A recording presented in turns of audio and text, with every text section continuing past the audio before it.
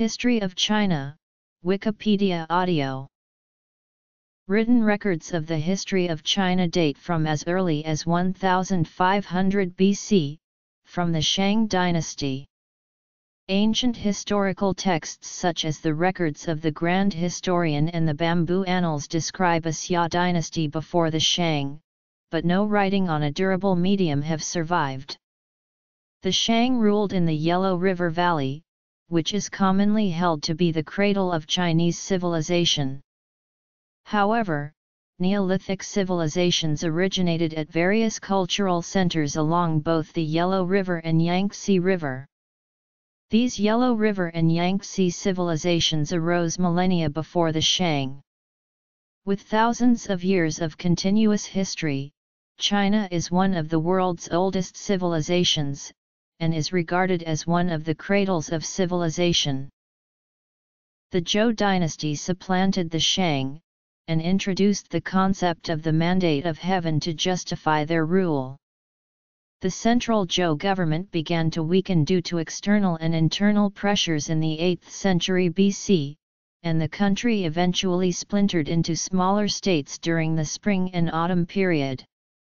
These states became independent and warred with one another in the following Warring States period. Much of traditional Chinese culture, literature, and philosophy first developed during those troubled times. In 221 BC Qin Shi Huang conquered the various warring states and created for himself the title of Huangdi or Emperor of the Qin, marking the beginning of imperial China. However, the oppressive government fell soon after his death, and was supplanted by the longer-lived Han dynasty. Successive dynasties developed bureaucratic systems that enabled the emperor to control vast territories directly. In the 21 centuries from 206 BC until AD 1912, routine administrative tasks were handled by a special elite of scholar officials.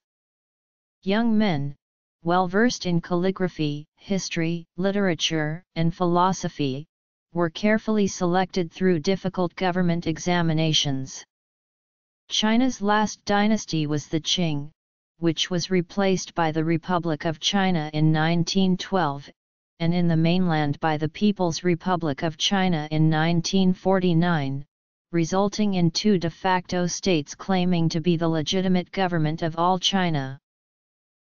Prehistory Chinese history has alternated between periods of politically unity and peace, and periods of war and failed statehood the most recent being the Chinese Civil War. China was occasionally dominated by steppe peoples, most of whom were eventually assimilated into the Han Chinese culture and population. Between eras of multiple kingdoms and warlordism, Chinese dynasties have ruled parts or all of China, in some eras control stretched as far as Xinjiang and Tibet, as at present.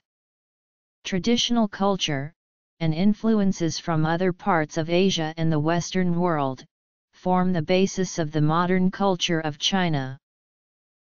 What is now China was inhabited by Homo erectus more than a million years ago. Recent study shows that the stone tools found at Xiaochangliang site are magnetostratigraphically dated to 1.36 million years ago.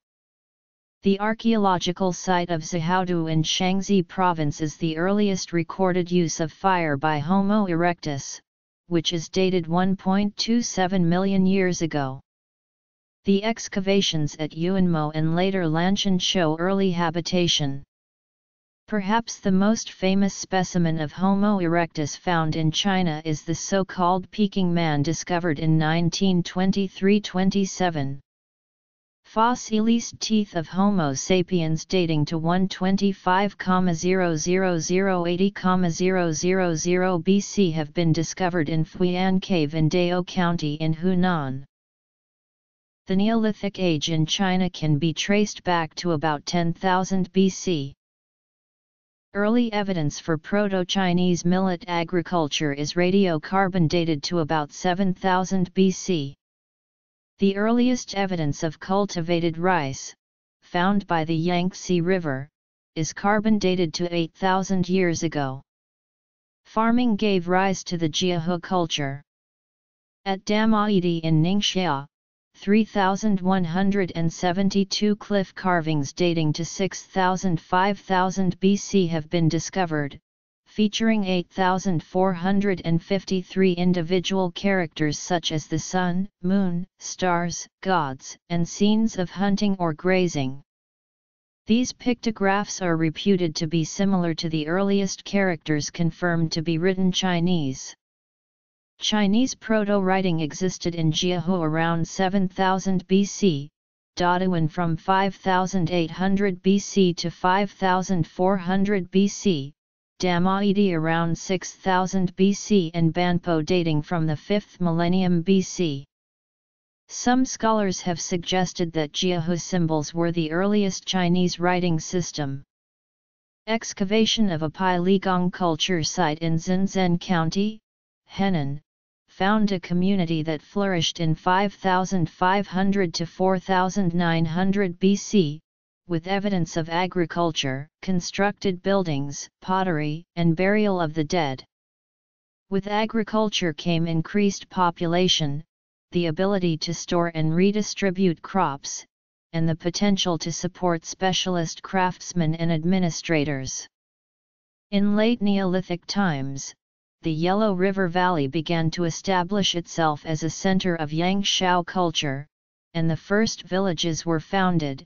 The most archaeologically significant of these was found at Banpo, Xi'an. Later, Yangshao culture was superseded by the Longshan culture, which was also centered on the Yellow River from about 3000 BC to 2000 BC. Bronze artifacts have been found at the Majiayao culture site. The Bronze Age is also represented at the Lower Xiajiadian culture site in northeast China. Sanxingdui located in what is now Sichuan province is believed to be the site of a major ancient city, of a previously unknown Bronze Age culture. The site was first discovered in 1929 and then rediscovered in 1986. Chinese archaeologists have identified the Sanxingdui culture to be part of the ancient kingdom of Shu, linking the artifacts found at the site to its early legendary kings. Ferrous metallurgy begins to appear in the late 6th century in the Yangtze Valley.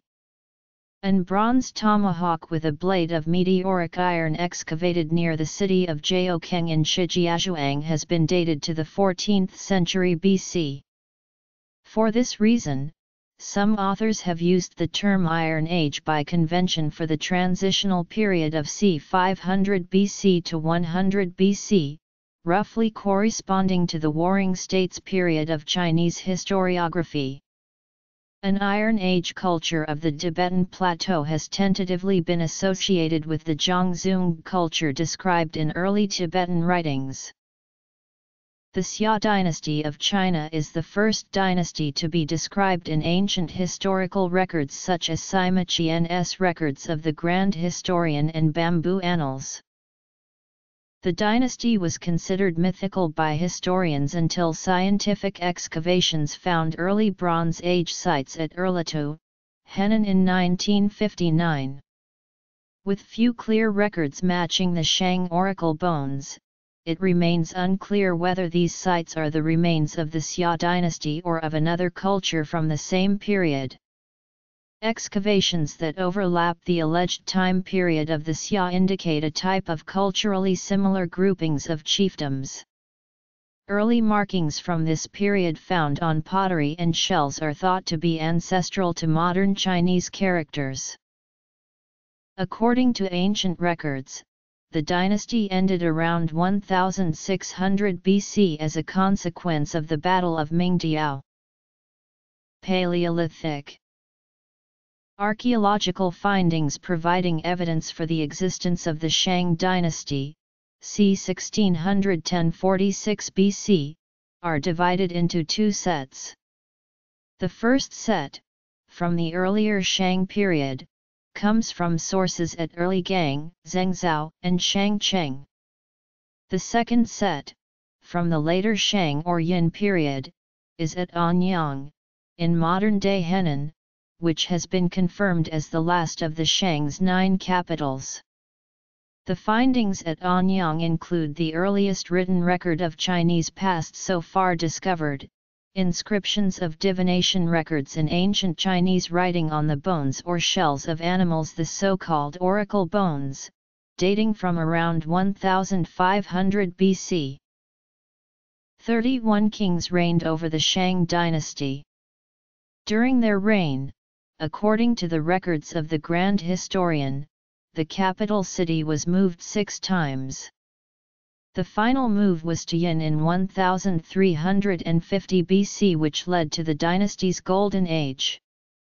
The term Yin dynasty has been synonymous with the Shang dynasty in history, although it has lately been used to refer specifically to the latter half of the Shang dynasty. Chinese historians living in later periods were accustomed to the notion of one dynasty succeeding another, but the actual political situation in early China is known to have been much more complicated. Hence, as some scholars of China suggest, the Xia and the Shang can possibly refer to political entities that existed concurrently, just as the early Zhou is known to have existed at the same time as the Shang. Although written records found at Anyang confirm the existence of the Shang dynasty, Western scholars are often hesitant to associate settlements that are contemporaneous with the Anyang settlement with the Shang dynasty. For example, archaeological findings at Sanxingdui suggest a technologically advanced civilization culturally unlike Anyang. The evidence is inconclusive in proving how far the Shang realm extended from Anyang. The leading hypothesis is that Anyang, ruled by the same Shang in the official history, coexisted and traded with numerous other culturally diverse settlements in the area that is now referred to as China proper. The Zhou dynasty was the longest-lasting dynasty in Chinese history. By the end of the second millennium BC, the Zhou dynasty began to emerge in the Yellow River Valley, overrunning the territory of the Shang. The Zhou appeared to have begun their rule under a semi-feudal system. The Zhou lived west of the Shang, and the Zhou leader had been appointed western protector by the Shang. The ruler of the Zhou, King Wu, with the assistance of his brother, the Duke of Zhou, as regent, managed to defeat the Shang at the Battle of Muye. The king of Zhou at this time invoked the concept of the mandate of heaven to legitimize his rule, a concept that would be influential for almost every succeeding dynasty. Like Shangdi, heaven ruled over all the other gods, and it decided who would rule China. It was believed that a ruler had lost the mandate of heaven when natural disasters occurred in great number, and when, more realistically, the sovereign had apparently lost his concern for the people. In response, the royal house would be overthrown, and a new house would rule, having been granted the mandate of heaven. The Zhou initially moved their capital west to an area near modern Xi'an, on the Wei River, a tributary of the Yellow River, but they would preside over a series of expansions into the Yangtze River Valley. This would be the first of many population migrations from north to south in Chinese history. Neolithic Bronze Age In the 8th century BC, power became decentralized during the Spring and Autumn period, named after the influential Spring and Autumn Annals. In this period, local military leaders used by the Zhou began to assert their power and vie for hegemony. The situation was aggravated by the invasion of other peoples from the northwest, such as the Qin, forcing the Zhou to move their capital east to Luoyang. This marks the second major phase of the Zhou dynasty, the Eastern Zhou. The spring and autumn period is marked by a falling apart of the central Zhou power. In each of the hundreds of states that eventually arose, local strongmen held most of the political power and continued their subservience to the Zhou kings in name only. Some local leaders even started using royal titles for themselves.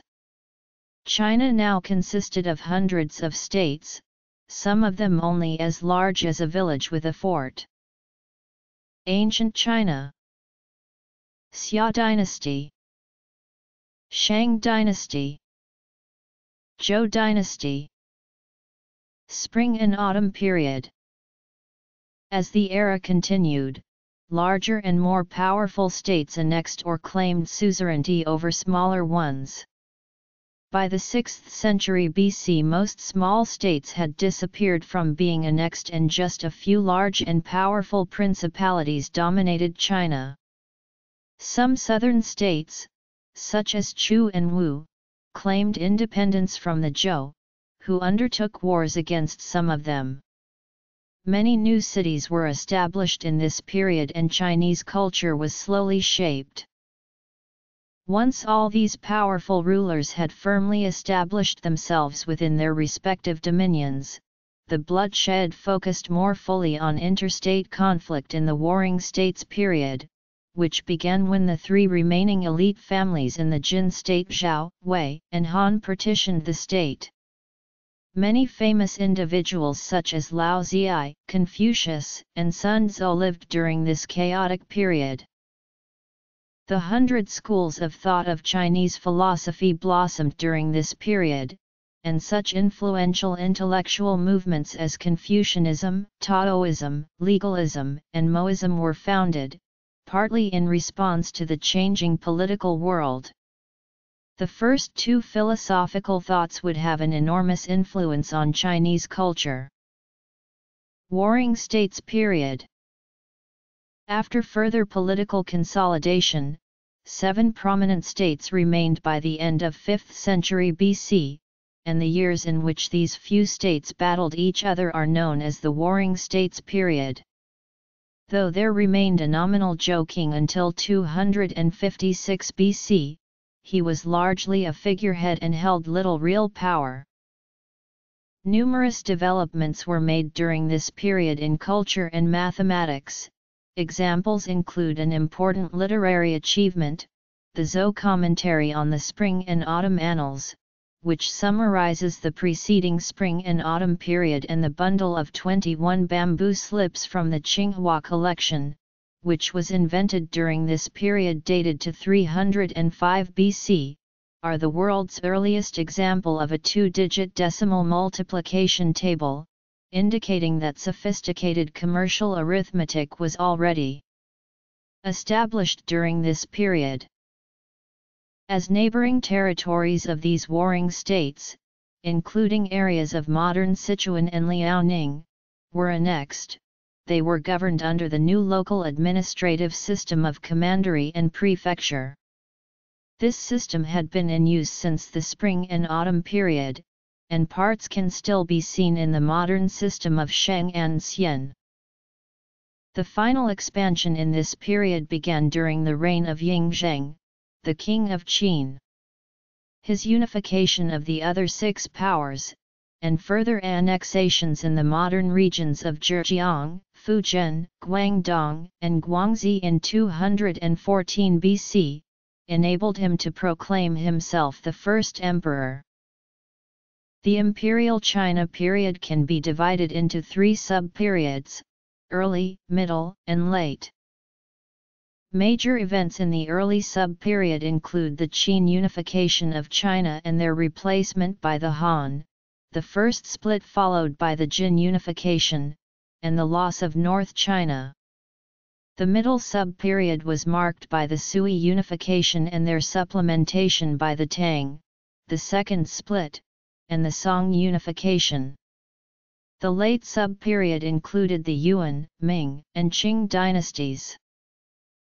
Historians often refer to the period from Qin dynasty to the end of Qing dynasty as Imperial China.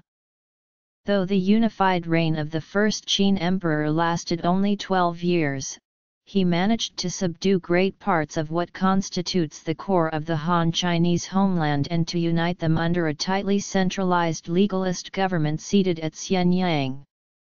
The doctrine of legalism that guided the Qin emphasized strict adherence to a legal code and the absolute power of the emperor. This philosophy, while effective for expanding the empire in a military fashion, proved unworkable for governing it in peacetime the Qin emperor presided over the brutal silencing of political opposition, including the event known as the burning of books and burying of scholars. This would be the impetus behind the later Han synthesis incorporating the more moderate schools of political governance. Imperial China Major contributions of the Qin include the concept of a centralized government, and the unification and development of the legal code, the written language, measurement, and currency of China after the tribulations of the Spring and Autumn and Warring States periods. Even something as basic as the length of axles for carts which need to match ruts in the roads had to be made uniform to ensure a viable trading system throughout the empire. Also as part of its centralization, the Qin connected the northern border walls of the states it defeated, making the first Great Wall of China. A major Qin innovation that lasted until 1912 was reliance upon a trained intellectual elite, the scholar official. They were civil servants appointed by the emperor to handle daily governance. Talented young men were selected through an elaborate process of imperial examination. They had to demonstrate skill at calligraphy, and had to know Confucian philosophy.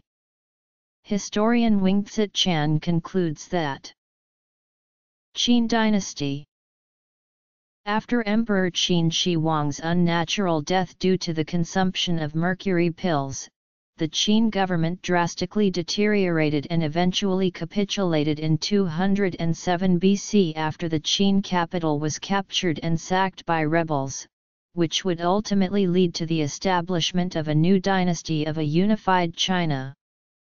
Despite the short 15-year duration of the Qin dynasty, it was immensely influential on China and the structure of future Chinese dynasties. The Han dynasty was founded by Liu Bang, who emerged victorious in the Chu-Han contention that followed the fall of the Qin dynasty. A golden age in Chinese history, the Han dynasty's long period of stability and prosperity consolidated the foundation of China as a unified state under a central imperial bureaucracy, which was to last intermittently for most of the next two millennia. During the Han dynasty, territory of China was extended to most of the China proper and to areas far west. Confucianism was officially elevated to orthodox status and was to shape the subsequent Chinese civilization. Art, culture, and science all advanced to unprecedented heights. With the profound and lasting impacts of this period of Chinese history, the dynasty name Han had been taken as the name of the Chinese people, now the dominant ethnic group in modern China, and had been commonly used to refer to Chinese language and written characters. The Han dynasty also saw many mathematical innovations being invented such as the method of Gaussian elimination which appeared in the Chinese mathematical text chapter 8 rectangular arrays of the nine chapters on the mathematical art. Its use is illustrated in 18 problems, with 2 to 5 equations. The first reference to the book by this title is dated to 179 AD, but parts of it were written as early as approximately 150 BC, more than 1,500 years before the Europeans came up with the method in the 18th century. Han Dynasty. Western Han. Xian Dynasty after the initial laissez-faire policies of emperors Wen and Jing, the ambitious Emperor Wu brought the empire to its zenith. To consolidate his power, Confucianism, which emphasizes stability and order in a well-structured society, was given exclusive patronage to be the guiding philosophical thoughts and moral principles of the empire. Imperial universities were established to support its study and further development, while other schools of thought were discouraged. Major military campaigns were launched to weaken the nomadic Xiongnu Empire, limiting their influence north of the Great Wall. Along with the diplomatic efforts led by Zhang Qian, the sphere of influence of the Han Empire extended to the states in the Tarim Basin, opened up the Silk Road that connected China to the west, stimulating bilateral trade and cultural exchange. To the south, various small kingdoms far beyond the Yangtze River Valley were formally incorporated into the empire. Emperor Wu also dispatched a series of military campaigns against the Baiyue tribes. The Han annexed Minyue in 135 BC and 111 BC, Nanyue in 111 BC, and Dian in 109 BC. Migration and military expeditions led to the cultural assimilation of the south. It also brought the Han into contact with kingdoms in Southeast Asia, introducing diplomacy and trade. After Emperor Wu, the empire slipped into gradual stagnation and decline. Economically, the state treasury was strained by excessive campaigns and projects, while land acquisitions by elite families gradually drained the tax base. Various consort clans exerted increasing control over strings of incompetent emperors and eventually the dynasty was briefly interrupted by the usurpation of Wang Mang. In AD 9, the usurper Wang Mang claimed that the mandate of heaven called for the end of the Han dynasty and the rise of his own, and he founded the short-lived Xin dynasty. Wang Mang started an extensive program of land and other economic reforms, including the outlawing of slavery and land nationalization and redistribution. These programs, however, were never supported by the landholding families, because they favored the peasants. The instability of power brought about chaos, uprisings, and loss of territories. This was compounded by mass flooding of the Yellow River, silt buildup caused it to split into two channels and displaced large numbers of farmers. Wang Mang was eventually killed in Weiyang Palace by an enraged peasant mob in AD 23. Emperor Guangwu reinstated the Han dynasty with the support of landholding and merchant families at Luoyang, east of the former capital Xi'an. Thus, this new era is termed the Eastern Han dynasty. With the capable administrations of Emperors Ming and Zhang, former glories of the dynasty was reclaimed, with brilliant military and cultural achievements the Xiongnu Empire was decisively defeated. The diplomat and General Ban Chao further expanded the conquests across the Pamirs to the shores of the Caspian Sea, thus reopening the Silk Road, and bringing trade, foreign cultures, along with the arrival of Buddhism. With extensive connections with the West, the first of several Roman embassies to China were recorded in Chinese sources, coming from the sea route in AD 166, and a second one in AD 284. The Eastern Han dynasty was one of the most prolific era of science and technology in ancient China, notably the historic invention of papermaking by Cai Lun, and the numerous scientific and mathematical contributions by the famous polymath Zhang Heng. By the 2nd century, the empire declined amidst land acquisitions, invasions, and feuding between consort clans and eunuchs. The Yellow Turban Rebellion broke out in AD 184, ushering in an era of warlords. In the ensuing turmoil, three states tried to gain predominance in the period of the Three Kingdoms. This time period has been greatly romanticized in works such as Romance of the Three Kingdoms. After Cao Cao reunified the north in 208, his son proclaimed the Wei dynasty in 220. Soon, Wei's rivals Shu and Wu proclaimed their independence, leading China into the Three Kingdoms period. This period was characterized by a gradual decentralization of the state that had existed during the Qin and Han dynasties, and an increase in the power of great families. In 266, the Jin dynasty overthrew the Wei and later unified the country in 280, but this union was short-lived.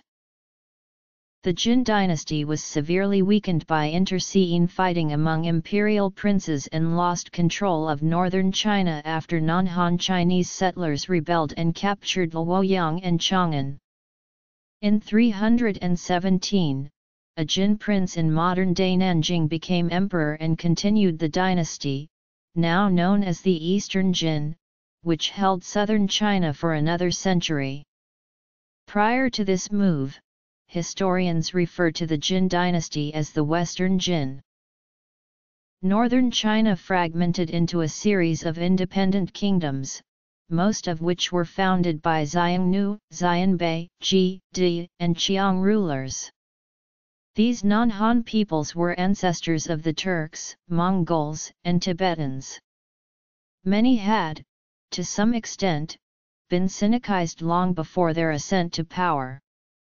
In fact, some of them, notably the Qiang and the Xiongnu, had already been allowed to live in the frontier regions within the Great Wall since late Han times. During the period of the Sixteen Kingdoms, warfare ravaged the north and prompted large-scale Han Chinese migration south to the Yangtze Basin and Delta.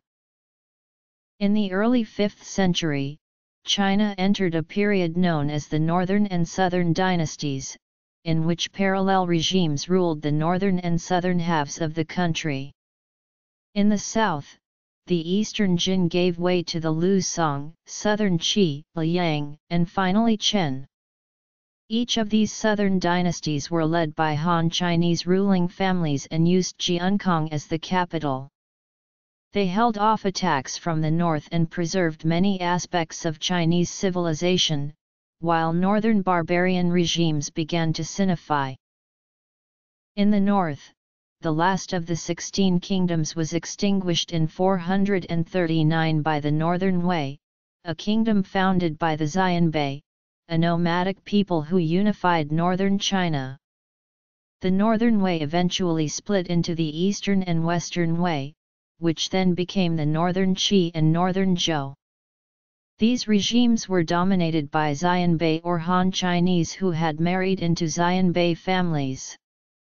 During this period most Xianbei people adopted Han surnames, eventually leading to complete assimilation into the Han. Despite the division of the country, Buddhism spread throughout the land. In southern China, Fierce debates about whether Buddhism should be allowed were held frequently by the royal court and nobles. By the end of the era, Buddhists and Taoists had become much more tolerant of each other. The short-lived Sui dynasty was a pivotal period in Chinese history. Founded by Emperor Wen in 581 in succession of the northern Zhou, the Sui went on to conquer the southern Chen in 589 to reunify China, ending three centuries of political division. The Sui pioneered many new institutions, including the government system of three departments and six ministries, imperial examinations for selecting officials from commoners, while improved on the systems of Fubing system of the army conscription and the equal field system of land distributions. These policies, which were adopted by later dynasties, brought enormous population growth, and amassed excessive wealth to the state. Standardized coinage were enforced throughout the unified empire. Buddhism took root as a prominent religion and were supported officially. Sui China was known for its numerous mega-construction projects. Intended for grains shipment and transporting troops, the Grand Canal was constructed, linking the capitals Daxing and Luoyang to the wealthy southeast region, and in another route, to the northeast border. The Great Wall was also expanded, while series of military conquests and diplomatic maneuvers further pacified its borders. However, the massive invasions of the Korean peninsula during the Goguryeo-Sui War failed disastrously, triggering widespread revolts that led to the fall of the dynasty. According to historian Mark Edward Lewis, the Tang dynasty was founded by Emperor Zhou on June 18, 618. It was a golden age of Chinese civilization and considered to be the most prosperous period of China with significant developments in culture, art, literature, particularly poetry, and technology. Buddhism became the predominant religion for the common people. Chang'an, the national capital, was the largest city in the world during its time. The second emperor, Taizong, is widely regarded as one of the greatest emperors in Chinese history, who had laid the foundation for the dynasty to flourish for centuries beyond his reign. Combined military conquests and diplomatic maneuvers were implemented to eliminate threats from nomadic tribes, extend the border, and submit neighboring states into a tributary system. Military victories in the Tarim Basin kept the Silk Road open, connecting Chang'an to Central Asia and areas far to the west. In the south, lucrative maritime trade routes began from port cities such as Guangzhou. There was extensive trade with distant foreign countries, and many foreign merchants settled in China, encouraging a cosmopolitan culture. The Tang culture and social systems were observed and imitated by neighboring countries, most notably, Japan. Internally the Grand Canal linked the political heartland in Chang'an to the agricultural and economic centers in the eastern and southern parts of the empire. Xuanzang, a Chinese Buddhist monk, scholar, traveler, and translator who traveled to India on his own, and returned with, over 600 Mahayana and Hinayana texts, seven statues of the Buddha and more than a hundred Sarira relics. Underlying the prosperity of the early Tang dynasty was a strong centralized bureaucracy with efficient policies the government was organized as three departments and six ministries to separately draft, review, and implement policies. These departments were run by royal family members as well as scholar officials who were selected by imperial examinations. These practices, which matured in the Tang dynasty, were continued by the later dynasties, with some modifications. Under the Tang equal-field system all land was owned by the emperor and granted to people according to household size. Men granted land were conscripted for military service for a fixed period each year, a military policy known as the Fubing system. These policies stimulated a rapid growth in productivity and a significant army without much burden on the state treasury. By the dynasty's midpoint, however, standing armies had replaced conscription, and land was continuously falling into the hands of private owners. The dynasty continued to flourish under the rule of Empress Wu Zetian, the only empress regnant in Chinese history, and reached its zenith during the long reign of Emperor Xuanzong, who oversaw an empire that stretched from the Pacific to the Aral Sea with at least 50 million people. There were vibrant artistic and cultural creations, including works of the greatest Chinese poets, Li Bai and Du Fu. At the zenith of prosperity of the empire, the An Lushan rebellion from 755 to 763 was a watershed event that devastated the population and drastically weakened the central imperial government. Upon suppression of the rebellion, regional military governors, known as Jidushi, gained increasingly autonomous status. With loss of revenue from land tax, the central imperial government relied heavily on salt monopoly. Externally, former submissive states raided the empire and the vast border territories were irreversibly lost for subsequent centuries. Nevertheless, civil society recovered and thrived amidst the weakened imperial bureaucracy. In late Tang period, the empire was worn out by recurring revolts of regional warlords, while internally, as scholar officials engaged in fierce factional strife, corrupted eunuchs amassed immense power. Catastrophically, the Huangchao Rebellion, from 874 to 884, devastated the entire empire for a decade. The sack of the southern port Guangzhou in 879 was followed by the massacre of most of its inhabitants, along with the large foreign merchant enclaves. By 881, both capitals, Luoyang and Chang'an, fell successively.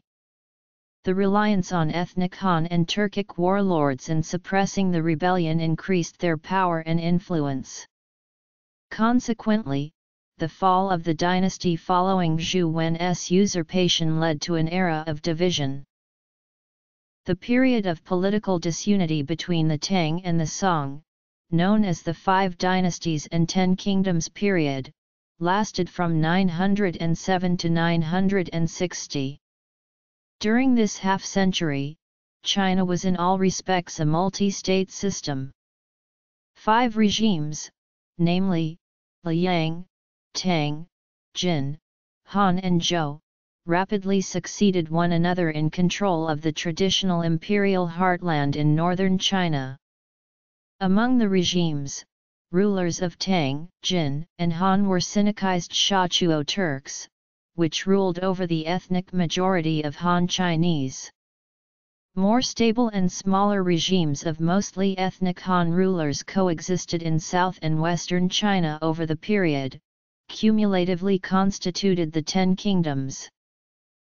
Amidst political chaos in the north, the strategic 16 prefectures were ceded to the emerging Khitan Liao dynasty, which drastically weakened the defense of the China proper against northern nomadic empires. To the south, Vietnam gained lasting independence after being a Chinese prefecture for many centuries. With wars dominated in northern China, there were mass southward migrations of population, which further enhanced the southward shift of cultural and economic centers in China. The era ended with the coup of later Zhou general Zhao Kuangyin, and the establishment the Song dynasty in 960, which would eventually annihilated the remains of the Ten Kingdoms and reunified China. In 960, the Song dynasty was founded by Emperor Taizu, with its capital established in Kaifeng.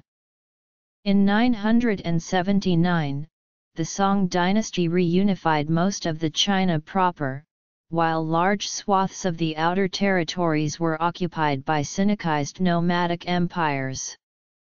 The Khitan Liao dynasty, which lasted from 907 to 1125, ruled over Manchuria, Mongolia, and parts of northern China. Meanwhile, in what are now the northwestern Chinese provinces of Gansu, Shaanxi, and Ningxia, the Tangut tribes founded the Western Xia dynasty from 1032 to 1227 aiming to recover the strategic 16 prefectures lost in the previous dynasty, campaigns were launched against the Liao dynasty in the early Song period, which all ended in failure. Then in 1004, the Liao cavalry swept over the exposed North China plain and reached the outskirts of Kaifeng, forcing the Song's submission and then agreement to the Chan Yuan Treaty, which imposed heavy annual tributes from the Song treasury. The treaty was a significant reversal of Chinese dominance of the traditional tributary system. Yet the annual outflow of Song's silver to the Liao was paid back through the purchase of Chinese goods and products, which expanded the Song economy, and replenished its treasury. This dampened the incentive for the Song to further campaign against the Liao. Meanwhile, this cross-border trade and contact induced further Sinicization within the Liao Empire, at the expense of its military might which was derived from its primitive nomadic lifestyle. Similar treaties and social-economical consequences occurred in Song's relations with the Jin dynasty. Within the Liao Empire, the Jurchen tribes revolted against their overlords to establish the Jin dynasty in 1115. In 1125, the devastating Jin cataphract annihilated the Liao dynasty, while remnants of Liao court members fled to Central Asia to found the Karakitai Empire. Jin's invasion of the Song dynasty followed swiftly. In 1127, Kaifeng was sacked, a massive catastrophe known as the Jingkang Incident, ending the northern Song dynasty. Later the entire north of China was conquered. The survived members of Song court regrouped in the new capital city of Hangzhou, and initiated the southern Song dynasty, which ruled territories south of the Huai River. In the ensuing years, the territory and population of China were divided between the Song dynasty, the Jin dynasty and the Western Xia dynasty. The era ended with the Mongol conquest, as Western Xia fell in 1227, the Jin dynasty in 1234, and finally the Southern Song dynasty in 1279. Despite its military weakness, the Song dynasty is widely considered to be the high point of classical Chinese civilization. The Song economy, facilitated by technology advancement, had reached a level of sophistication probably unseen in world history before its time the population soared to over 100 million and the living standards of common people improved tremendously due to improvements in rice cultivation and the wide availability of coal for production. The capital cities of Kaifeng and subsequently Hangzhou were both the most populous cities in the world for their time, and encouraged vibrant civil societies unmatched by previous Chinese dynasties. Although land trading routes to the far west were blocked by nomadic empires, there were extensive maritime trade with neighboring states, which facilitated the use of song coinage as the de facto currency of exchange. Giant wooden vessels equipped with compasses traveled throughout the China Seas and northern Indian Ocean. The concept of insurance was practiced by merchants to hedge the risks of such long-haul maritime shipments. With prosperous economic activities, the historically first use of paper currency emerged in the western city of Chengdu, as a supplement to the existing copper coins. The Song dynasty was considered to be the golden age of great advancements in science and technology of China, thanks to innovative scholar officials such as Su Song and Shen Kuo. Inventions such as the hydromechanical astronomical clock, the first continuous and endless power transmitting chain, wood block printing, and paper money were all invented during the Song dynasty. There was court intrigue between the political reformers and conservatives, led by the chancellors Wang Anshi and Sima Guang, respectively. By the mid to late 13th century, the Chinese had adopted the dogma of Neo-Confucian philosophy formulated by Zhu Xi. Enormous literary works were compiled during the Song dynasty, such as the historical work, the Zizhi Tongjian. The invention of movable type printing further facilitated the spread of knowledge. Culture and the arts flourished, with grandiose artworks such as along the river during the Qingming festival and 18 songs of a nomad flute, along with great Buddhist painters such as the prolific Lin Tinggui. The Song dynasty was also a period of major innovation in the history of warfare. Gunpowder, while invented in the Tang dynasty, was first put into use in battlefields by the Song army, inspiring a succession of new firearms and siege engines designs. During the Southern Song dynasty, as its survival hinged decisively on guarding the Yangtze and Huai River against the cavalry forces from the north, the first standing navy in China was assembled in 1132, with its Admiral's headquarters established at Dinghai. Paddle wheel warships equipped with trebuchets could launch incendiary bombs made of gunpowder and lime, as recorded in Song's victory over the invading Jin forces at the Battle of Tangdao in the East China Sea, and the Battle of Caishi on the Yangtze River in 1161. The advances in civilization during the Song dynasty came to an abrupt end following the devastating Mongol conquest, during which the population sharply dwindled, with a marked contraction in economy.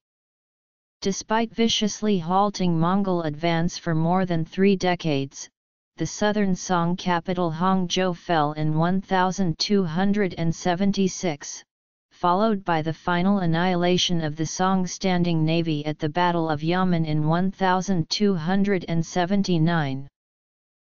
The Yuan dynasty was formally proclaimed in 1271, when the great Khan of Mongol, Kublai Khan, one of the grandsons of Genghis Khan, assumed the additional title of the Emperor of China, and considered his inherited part of the Mongol Empire as a Chinese dynasty.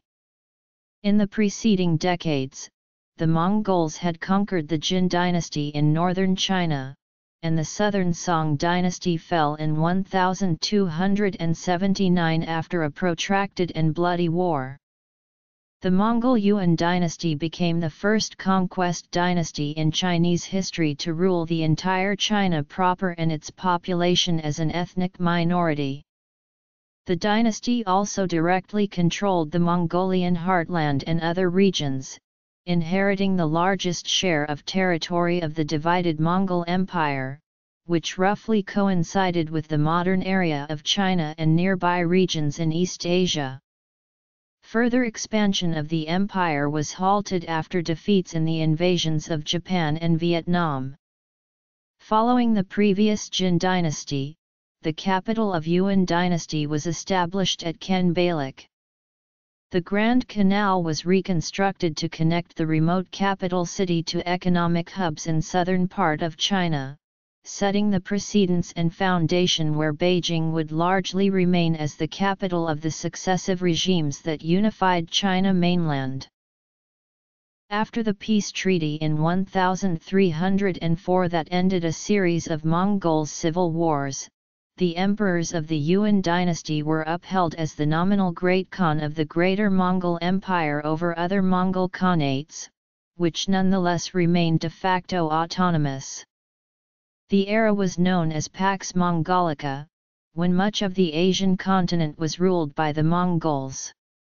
For the first and only time in history, the Silk Road was controlled entirely by a single state, facilitating the flow of people, trade, and cultural exchange. Network of roads and a postal system were established to connect the vast empire. Lucrative maritime trade, developed from the previous Song dynasty, continued to flourish, with Quanzhou and Hangzhou emerging as the largest ports in the world. Adventurous travelers from the far west, most notably the Venetian, Marco Polo, would have settled in China for decades. Upon his return, his detailed travel record inspired generations of medieval Europeans with the splendors of the Far East. The Yuan dynasty was the first ancient economy, where paper currency, known at the time as Chao, was used as the predominant medium of exchange. Its unrestricted issuance in the late Yuan dynasty inflicted hyperinflation, which eventually brought the downfall of the dynasty.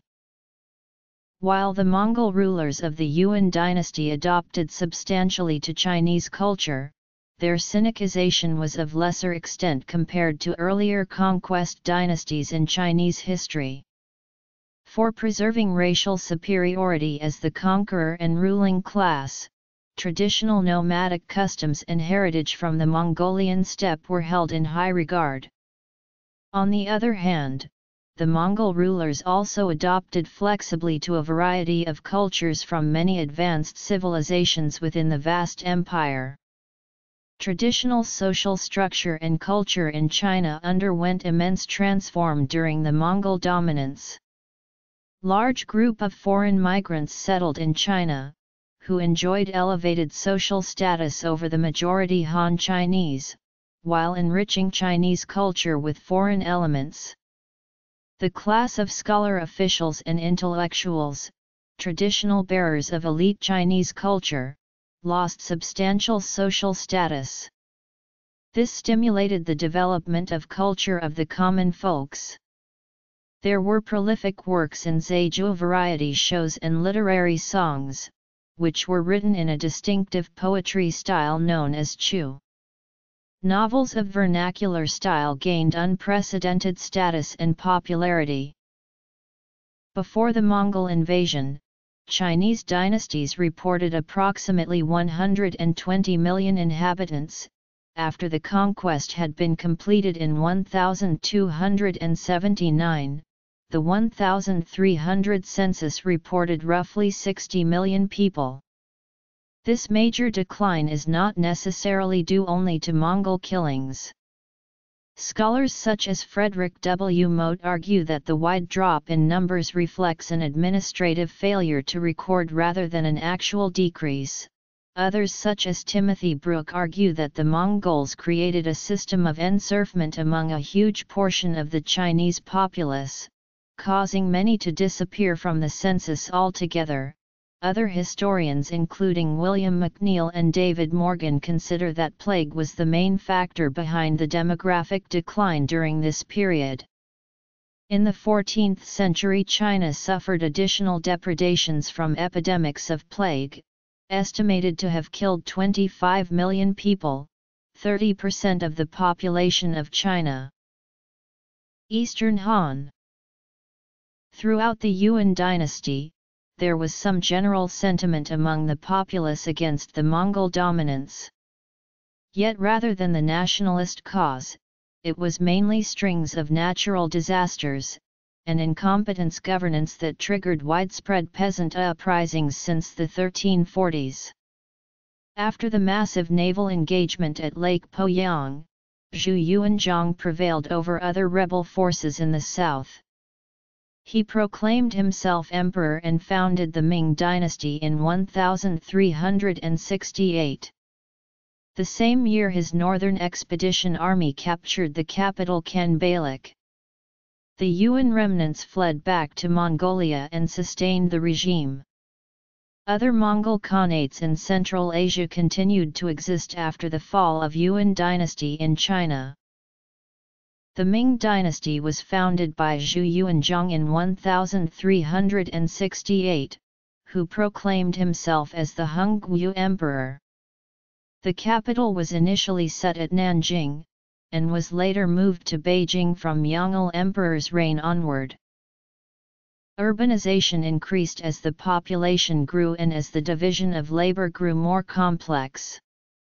Large urban centers, such as Nanjing and Beijing, also contributed to the growth of private industry. In particular, small-scale industries grew up, often specializing in paper, silk, cotton, and porcelain goods. For the most part, however, relatively small urban centers with markets proliferated around the country. Town markets mainly traded food, with some necessary manufactures such as pins or oil. Despite the xenophobia and intellectual introspection characteristic of the increasingly popular new school of Neo-Confucianism, China under the early Ming dynasty was not isolated. Foreign trade and other contacts with the outside world, particularly Japan, increased considerably. Chinese merchants explored all of the Indian Ocean, reaching East Africa with the voyages of Zheng He. The Hongwu Emperor, being the only founder of a Chinese dynasty who was also of peasant origin, had laid the foundation of a state that relied fundamentally in agriculture. Commerce and trade, which flourished in the previous Song and Yuan dynasties, were less emphasized. Neo-feudal land holdings of the Song and Mongol periods were expropriated by the Ming rulers. Land estates were confiscated by the government, fragmented, and rented out. Private slavery was forbidden. Consequently, after the death of the Yongle Emperor, independent peasant landholders predominated in Chinese agriculture. These laws might have paved the way to removing the worst of the poverty during the previous regimes. Towards later era of the Ming dynasty, with declining government control, commerce, trade, and private industries revived. Three Kingdoms the dynasty had a strong and complex central government that unified and controlled the empire. The emperor's role became more autocratic, although Hongwu Emperor necessarily continued to use what he called the Grand Secretariat to assist with the immense paperwork of the bureaucracy, including memorials, imperial edicts in reply, reports of various kinds, and tax records. It was this same bureaucracy that later prevented the Ming government from being able to adapt to changes in society, and eventually led to its decline. The Yongle Emperor strenuously tried to extend China's influence beyond its borders by demanding other rulers send ambassadors to China to present tribute. A large navy was built, including four-masted ships displacing 1,500 tons. A standing army of 1 million troops was created. The Chinese armies conquered and occupied Vietnam for around 20 years, while the Chinese fleet sailed the China Seas and the Indian Ocean, cruising as far as the east coast of Africa. The Chinese gained influence in eastern Mongolistan. Several maritime Asian nations sent envoys with tribute for the Chinese emperor. Domestically, the Grand Canal was expanded and became a stimulus to domestic trade. Over 100,000 tons of iron per year were produced. Many books were printed using movable type. The imperial palace in Beijing's Forbidden City reached its current splendor. It was also during these centuries that the potential of South China came to be fully exploited. New crops were widely cultivated and industries such as those producing porcelain and textiles flourished. Jin Dynasty In 1449 Esen Taishi led an Oirat Mongol invasion of northern China which culminated in the capture of the Zhengtong Emperor at Tumu. Since then, the Ming became on the defensive on the northern frontier, which led to the Ming Great Wall being built. Most of what remains of the Great Wall of China today was either built or repaired by the Ming. The brick and granite work was enlarged, the watch towers were redesigned, and cannons were placed along its length.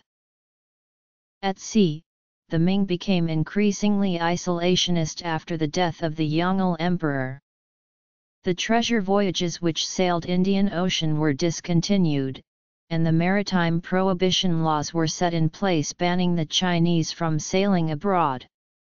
European traders who reached China in the midst of the Age of Discovery were repeatedly rebuked in their requests for trade, with the Portuguese being repulsed by the Ming Navy at Tuen Mun in 1521 and again in 1522. Domestic and foreign demands for overseas trade, deemed illegal by the state, led to widespread wokou piracy attacking the southeastern coastline during the rule of the Jiajing Emperor, which only subsided after the opening of ports in Guangdong and Fujian and much military suppression. The Portuguese were allowed to settle in Macau in 1557 for trade, which remained in Portuguese hands until 1999. The Dutch entry into the Chinese seas was also met with fierce resistance, with the Dutch being chased off the Penghu Islands in the Sino-Dutch conflicts of 1622–1624 and were forced to settle in Taiwan instead. The Dutch in Taiwan fought with the Ming in the Battle of Liuluo Bay in 1633 and lost, and eventually surrendered to the Ming loyalist Koxinga in 1662, after the fall of the Ming dynasty. Northern and Southern dynasties Sui dynasty In 1556, during the rule of the Jiajing Emperor, the Shaanxi earthquake killed about 830,000 people, the deadliest earthquake of all time. The Ming dynasty intervened deeply in the Japanese invasions of Korea, which ended with the withdrawal of all invading Japanese forces in Korea, and the restoration of the Joseon dynasty, its traditional ally and tributary state. The regional hegemony of the Ming dynasty was preserved at a toll on its resources. Coincidentally, with Ming's control in Manchuria in decline, the Manchu tribes, under their chieftain Nurhaci, broke away from Ming's rule, and emerged as a powerful, unified state, which was later proclaimed as the Qing dynasty. It went on to subdue the much weakened Korea as its tributary, conquered Mongolia, and expanded its territory to the outskirt of the Great Wall. The most elite army of the Ming dynasty was to station at the Shanhai Pass to guard the last stronghold against the Manchus, which weakened its suppression of internal peasants' uprisings. The Qing dynasty was the last imperial dynasty in China. Founded by the Manchus, it was the second conquest dynasty to rule the entire territory of China and its people. The Manchus were formerly known as Jurchens, residing in the northeastern part of the Ming territory outside the Great Wall. They emerged as the major threat to the late Ming dynasty after Nurhaci united all Jurchen tribes and established an independent state. However, the Ming dynasty would be overthrown by Li Zicheng's peasants' rebellion, with Beijing captured in 1644 and the Chongzhen Emperor, the last Ming Emperor, committing suicide. The Manchus allied with the former Ming general Wu Sangui to seize Beijing, which was made the capital of the Qing dynasty, and then proceeded to subdue the Ming remnants in the south. The decades of Manchu conquest caused enormous loss of lives and the economic scale of China shrank drastically. In total, the Qing conquest of the Ming cost as many as 25 million lives. Nevertheless, the Manchus adopted the Confucian norms of traditional Chinese government in their rule and were considered a Chinese dynasty. Tang Dynasty Five Dynasties and Ten Kingdoms. Song, Liao, Jin, and Western Xia Dynasties. Yuan Dynasty. Ming Dynasty. Qing Dynasty. Modern China. Republic of China. People's Republic of China. Notes. Surveys Prehistory 2 Shang Dynasty Zhou Dynasty The Manchus enforced a queue order, forcing the Han Chinese to adopt the Manchu queue hairstyle. Officials were required to wear Manchu-style clothing Changshan, but ordinary Han civilians were allowed to wear traditional Han clothing, or Hanfu. Most Han then voluntarily shifted to wearing qipao anyway.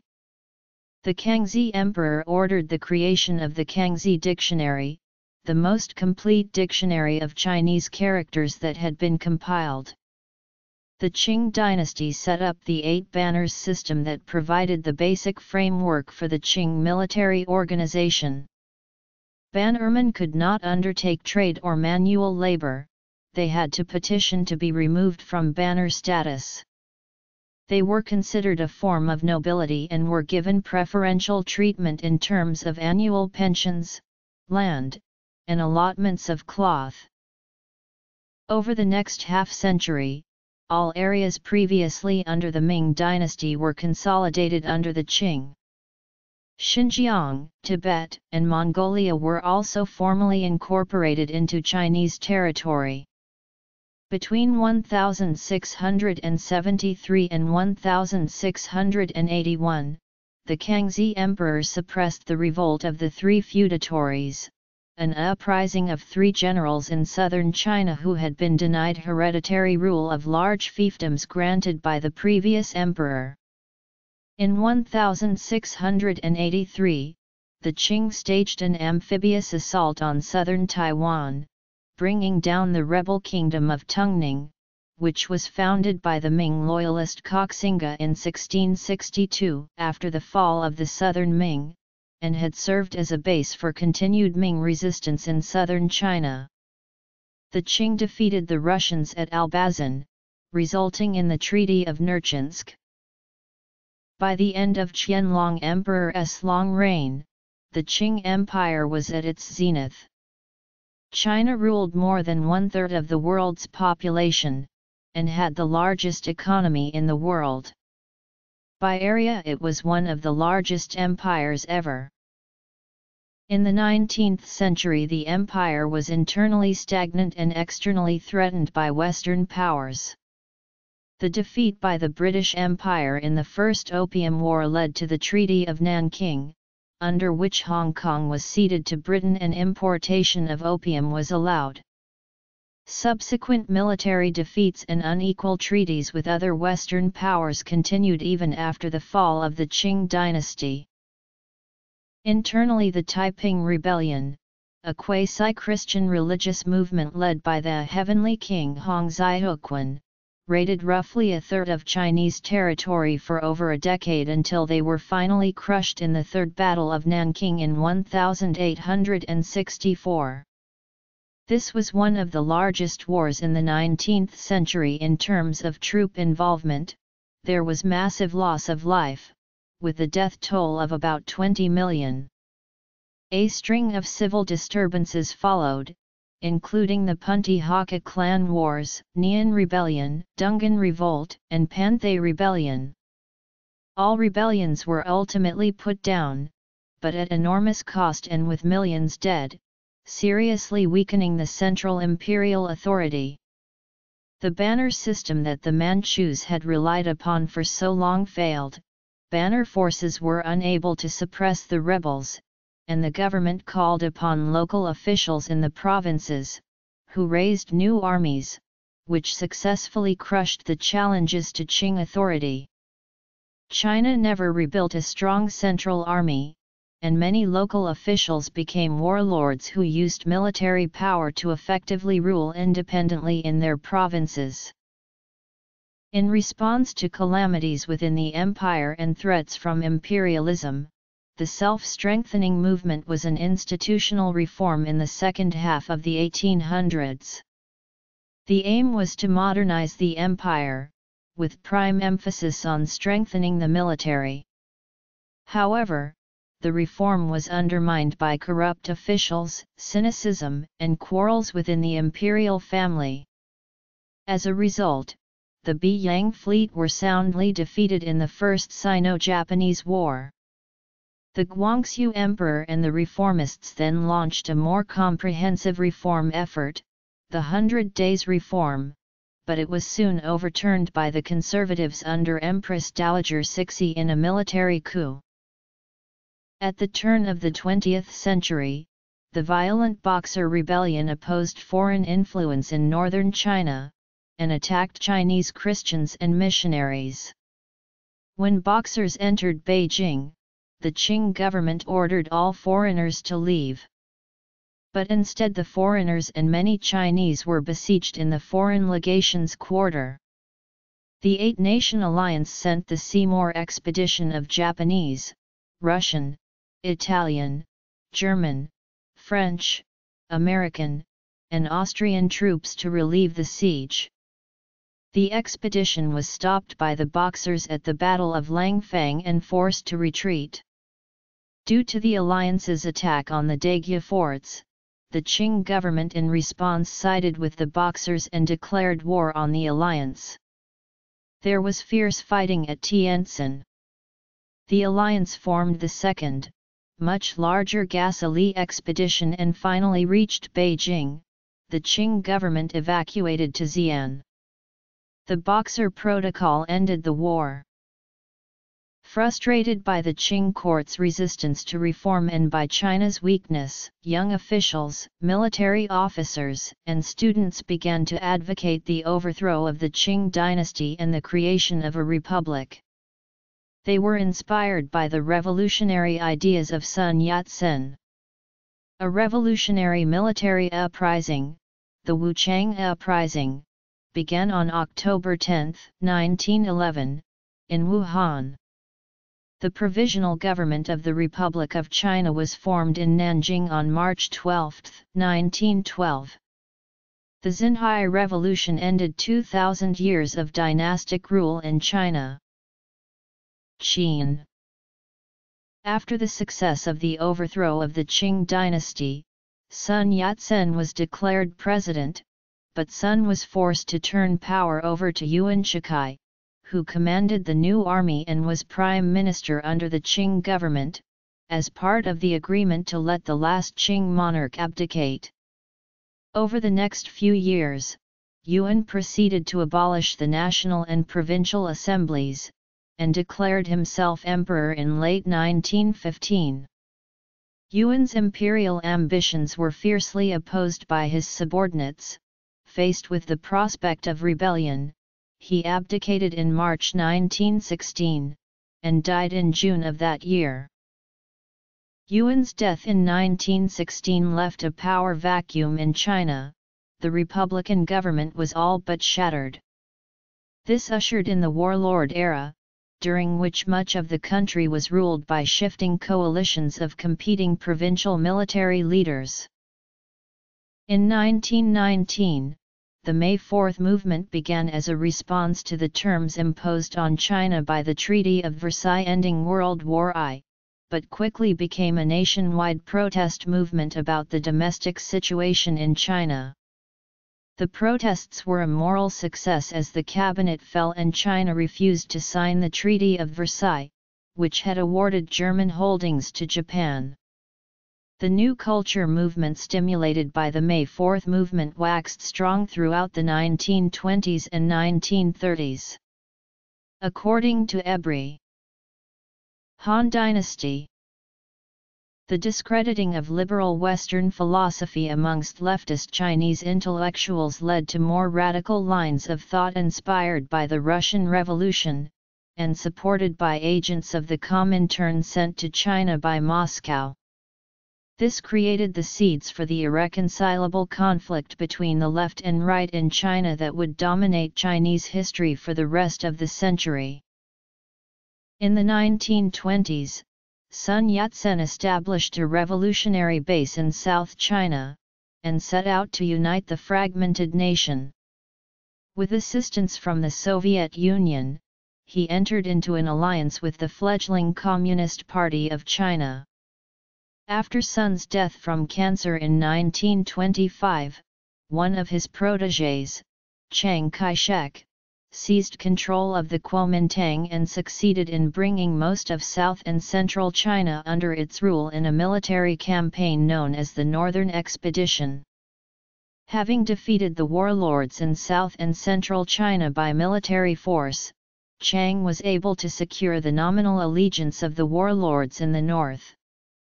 In 1927, Chiang turned on the CPC and relentlessly chased the CPC armies and its leaders from their bases in southern and eastern China.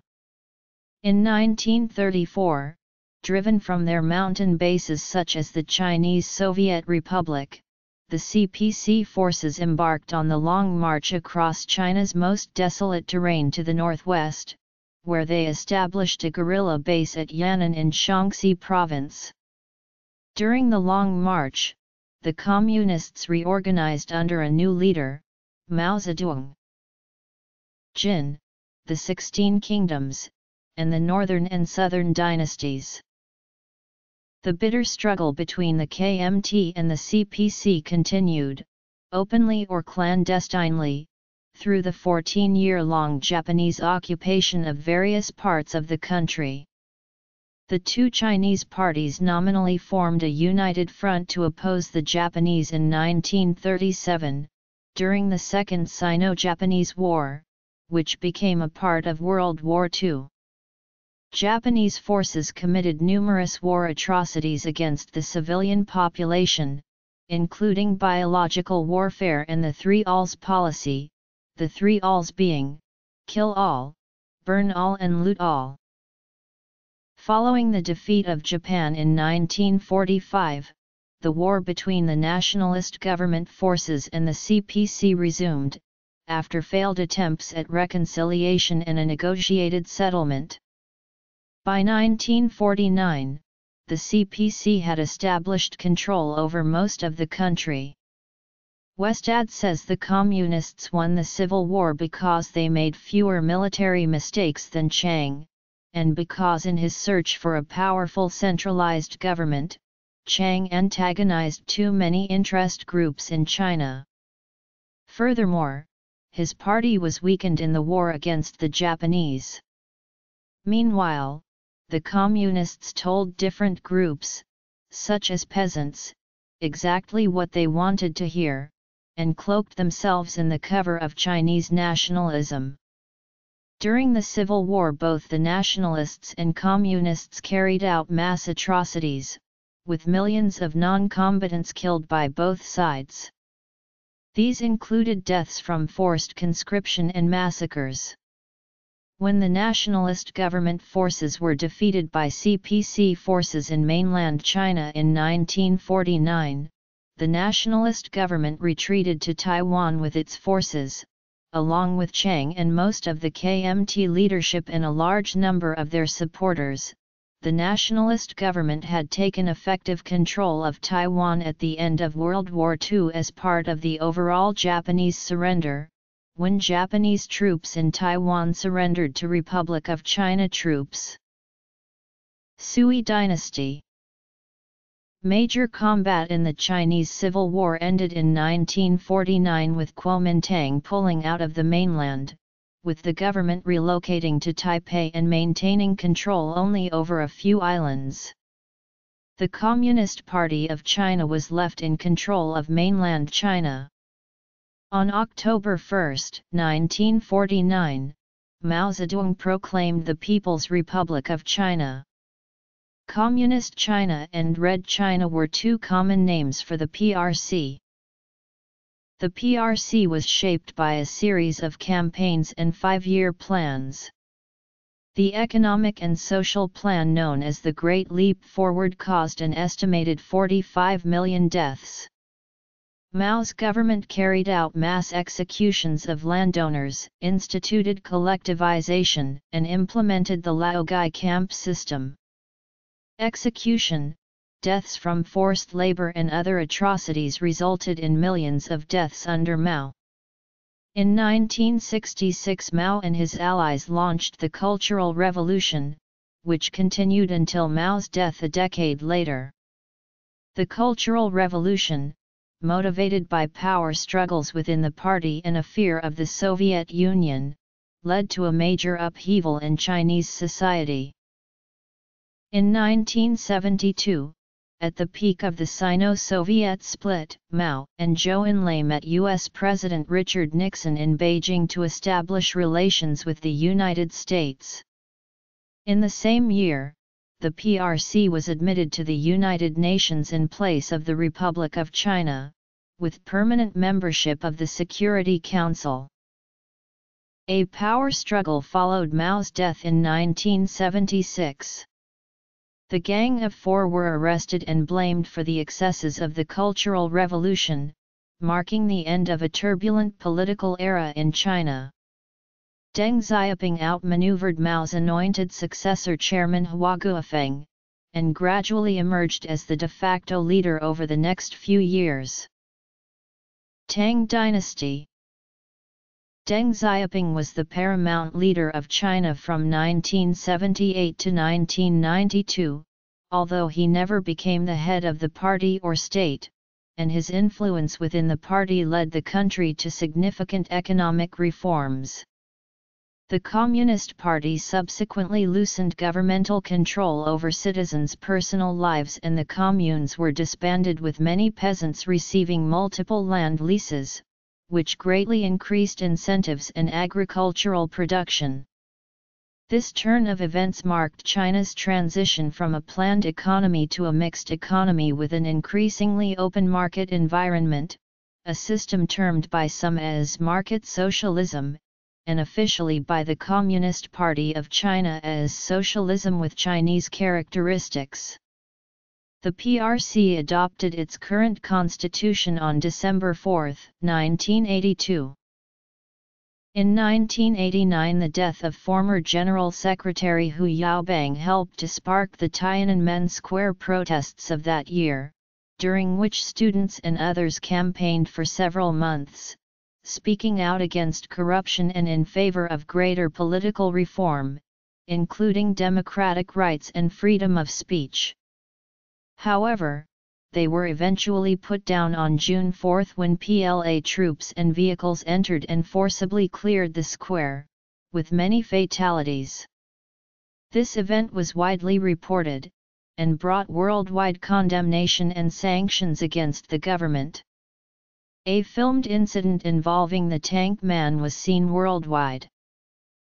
Song Dynasty CPC General Secretary and PRC President Jiang Zemin and PRC Premier Zhu Rongji, both former mayors of Shanghai, led post-Tiananmen PRC in the 1990s. Under Jiang and Zhu's 10 years of administration, the PRC's economic performance pulled an estimated 150 million peasants out of poverty and sustained an average annual gross domestic product growth rate of 11.2%. The country formally joined the World Trade Organization in 2001. Yuan Dynasty Although the PRC needs economic growth to spur its development, the government began to worry that rapid economic growth was degrading the country's resources and environment. Another concern is that certain sectors of society are not sufficiently benefiting from the PRC's economic development. One example of this is the wide gap between urban and rural areas. As a result, under former CPC General Secretary and President Hu Jintao and Premier Wen Jiabao, the PRC initiated policies to address issues of equitable distribution of resources, but the outcome was not known as of 2014. More than 40 million farmers were displaced from their land, usually for economic development, contributing to 87,000 demonstrations and riots across China in 2005. For much of the PRC's population, living standards improved very substantially and freedom increased, but political controls remained tight and rural areas poor. Ming Dynasty Qing Dynasty Nationalist Era Communist Era Cultural Revolution, 1966–76 Economy and Environment Women and Gender. Scholarly Journals. Bibliography